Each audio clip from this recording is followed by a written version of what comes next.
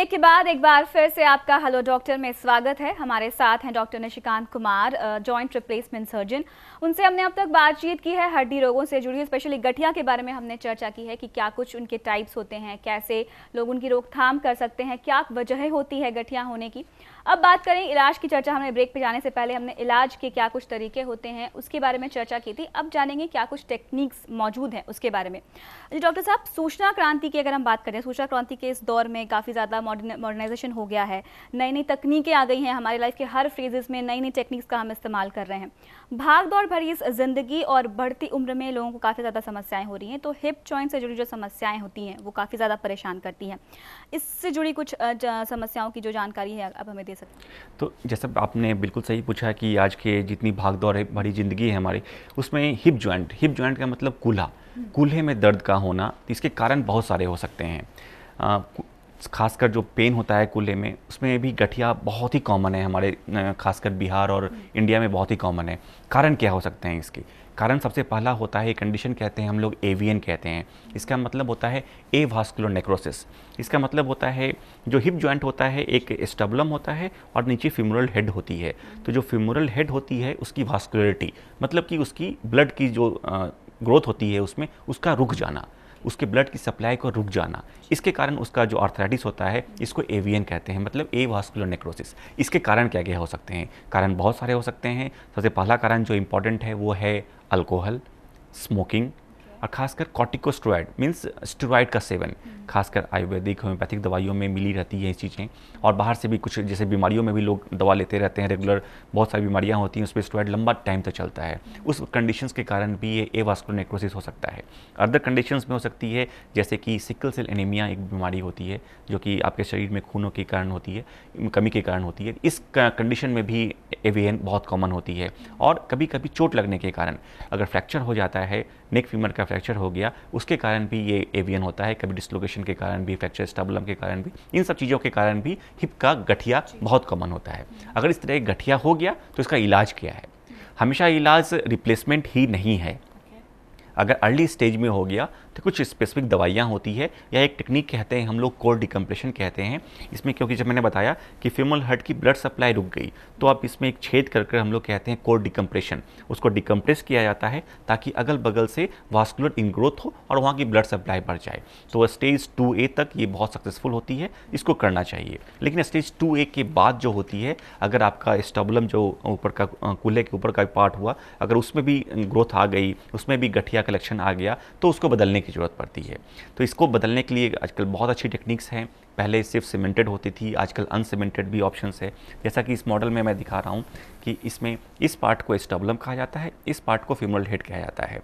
तो इसमें एस्टाबुलम वाले पोर्शन में हम लोग इसको रीम कर कर अंदर एक तरह का एक इम्प्लांट होता है, इसको यहाँ प्लेस किया जाता है। और इसमें एक फीमर वे इसको एक तरह का संरचना बनाकर इस तरह का इम्प्लांट आता है जिसमें कि एक बॉल होती है और एक स्टेम होती है। स्टेम के दो तीन तरीके होते हैं ये सीमेंटेड हो सकता है या अनसीमेंटेड हो सकता है। दोनों की लॉन्जिविटी लगभग बराबर है depending upon your training and the person you like कैसा उसका um, जो आदमी मरीज़ है उसको क्या पसंद है उसकी कैसी फाइनेंशियल कैपेसिटीज़ हैं इस पर डिपेंड करता है। ऐसे दोनों के रिज़ल्ट इक्वली गुड हैं इसको प्लेस किया जाता है। इसको प्लेस करने के बाद ये आपका काम करता है और ये बहुत ही सक्सेसफुल है। लगभग आपकी पूरी ज़िंदगी आपको पेन नहीं होता है लगभग सारे मूवमेंट आप अचीव करते हैं लेकिन हाँ जब ज़रूरत हो इसकी तभी ये करना चाहिए। अब ये हमने बात की हिप रिप्लेसमेंट की। अब हम बात करें अगर नी रिप्लेसमेंट की बात करें तो इन दिनों घुटनों का दर्द भी काफ़ी ज़्यादा आम हो गया है। नी रिप्लेसमेंट के बारे में भी लोगों को काफ़ी ज़्यादा जानकारी नहीं है और काफ़ी परेशानियों से वो आए दिनों रूबरू होते रहते हैं। तो नी रिप्लेसमेंट के बारे में भी अगर हमारे दर्शकों को आपको जानकारी दें पहला तो मैंने बताया कि नी रिप्लेसमेंट चाहे घुटने का दर्द, अगर घुटने का दर्द लेट स्टेज में पहुँच गया। अर्ली स्टेज में तो मैं पहले बताया था कि इसमें आपको एक्सरसाइजेस कुछ लाइफस्टाइल मॉडिफिकेशंस कर कर आप इससे ठीक हो सकते हैं। दवाइयाँ इसके लिए यूज़फुल नहीं है। लेकिन हाँ अगर लेट स्टेज में हो गया है मतलब लेट स्टेज का मतलब क्या हुआ? कैसे जानेंगे कि आप लेट स्टेज में पहुँच गए हैं? तो सबसे पहला चीज़ होता है कि पेन पेन इतना ज़्यादा हो कि आप अपने घर के नॉर्मल काम धाम ना कर पाएँ। मीन्स जैसे कि आप आज से छः महीने पहले जितना काम कर पा रहे थे, आज उतना काम ना कर पा रहे हों। तो आपको लेट स्टेज है। एक नॉर्मल समझने के लिए।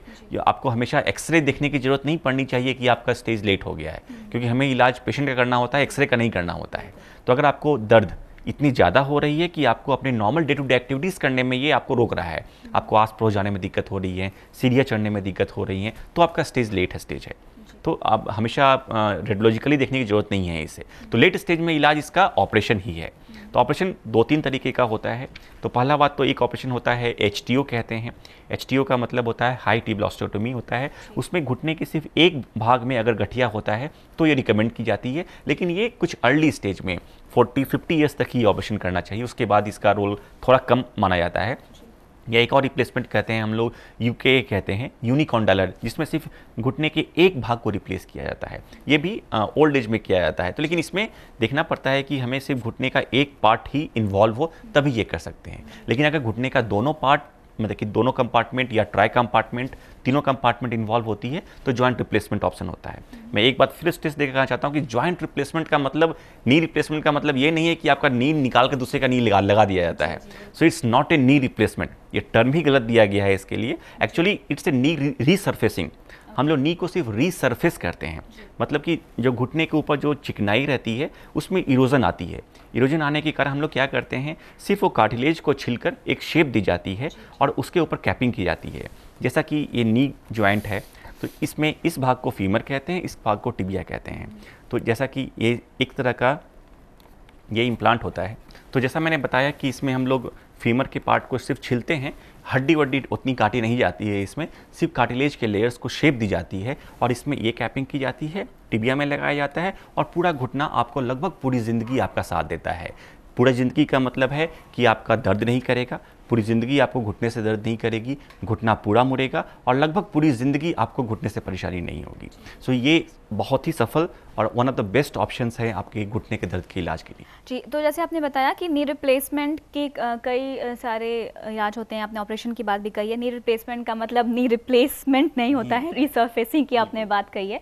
तो कितना सफल है ये री, री, नी रिप्लेसमेंट या नी रिप्लेसिंग लोगों के दिमाग में यहाँ बहुत बड़ा मिथ है कि नी रिप्लेसमेंट कितना सक्सेसफुल हो पाएगा। नहीं हो पाएगा। लेकिन आ, अगर एक आ, आज का ज़माना एविडेंस बेस्ड मेडिसिन का ज़माना होता है तो अगर आप जाकर सर्च करें जाकर नेट पर देखें गूगल पर सर्च करें तो एक यूएस की रिसर्च आई है अभी। उसके अनुसार पूरे वर्ल्ड में तीन तरह के ऑपरेशन को बेस्ट माना गया है आज की डेट में। One is cataract two is heart surgery and number three is knee replacement so इन तीनों ऑपरेशन के बारे में किसी को शंका होने की ज़रूरत बिल्कुल नहीं है। जो जितना एक नॉर्मल ऑपरेशन सक्सेसफुल होता है, उससे कहीं ज़्यादा सक्सेसफुल मैं कहूँगा कि ये ऑपरेशन है। करने में कोई बहुत ज़्यादा वक्त लगता नहीं है। 30 मिनट से 35 मिनट में ऑपरेशन पूरा ख़त्म होता है और आपको दर्द भी नहीं करता है। जो दर्द आपको ऑपरेशन से पहले कर रहा था, अगले दिन से दर्द खत्म हो जाता है। आप नेक्स्ट से चलती हैं। लोगों के दिमाग में रहता है कि ऑपरेशन करेंगे तो कितना दिन बेड पर रहना पड़ेगा। बेड पर आपको एक भी दिन रहने की ज़रूरत नहीं है। आज ऑपरेशन किया कल से चलना शुरू कल से घुटना मोड़ना शुरू होता है। तो इसलिए इसमें ये सक्सेसफुल वाली बात को तो इस सवाल ही गलत होता है। इसलिए मैं हमेशा इस सवाल को बोलता हूँ कि इसके सक्सेस को लेकर तो कभी क्वेश्चन रेज करना ही नहीं चाहिए। अगर सही तरीके से किया जाए सही आदमी के हाथों किया जाए तो इससे अच्छा ऑपरेशन आपके लिए आपके घुटने के लिए नहीं हो सकता है।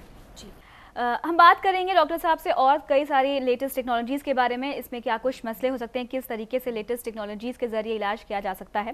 फ़िलहाल रुकेंगे एक और छोटे से ब्रेक के लिए। हेलो डॉक्टर में जल्द लौटते हैं। बने रहिए हमारे साथ।